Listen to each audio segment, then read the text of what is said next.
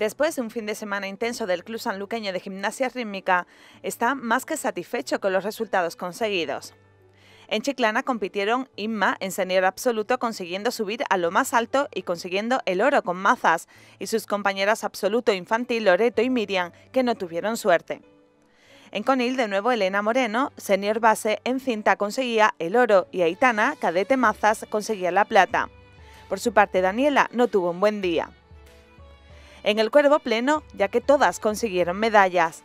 Lucía Gómez en precopa cinta conseguía el oro, Inma Senior Absoluto el oro en mazas, plata en aro. Eulí Absoluto Alevín conseguía el bronce, Ana en cadete mazas precopa bronce y Elena Moreno en senior base conseguía el oro. Y por último, en Almodóvar del Río también todas consiguieron subir al podium. Nerea en junior absoluto con cuerda conseguía el oro, Patricia, en cadete, en mazas conseguía el oro. Elizabeth conseguía la plata en pelota y Julia la plata en pelota. Por tanto, gran fin de semana consiguiendo siete medallas de oro, tres de plata y dos de bronce. Ese próximo fin de semana estarán en Niebla, en Huelva, con tres gimnastas. Además, trabajando a tope para estar en mejor estado posible para el próximo Campeonato de España a principios de abril.